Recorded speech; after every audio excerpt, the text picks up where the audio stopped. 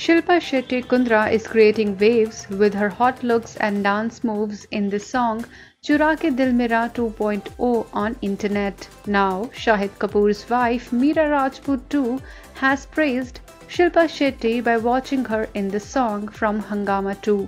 Taking to her Instagram stories, Meera shared the music video clip and captioned it, Shilpa Shetty, I am a fan. Could not take my eyes off you. How can someone look this hot and make it look fun as hell? Hungama 2 is the second installment of Priyadarshan's Hungama, which released in 2003.